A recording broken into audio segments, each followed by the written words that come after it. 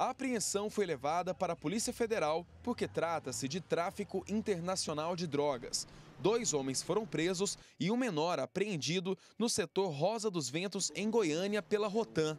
Newton Santiago e Luciano Fernandes são traficantes brasileiros e já têm passagens pela polícia por tráfico, receptação e porte ilegal de arma de fogo. Peralto Carneiro é paraguaio. Ele era responsável por trazer a droga para o Brasil. De acordo com a equipe da Rotan, essa foi a caminhonete usada pelos criminosos para trazer a droga do Paraguai. Os policiais ainda acreditam que ela foi roubada aqui no Brasil e levada para o país vizinho, onde teve a placa adulterada.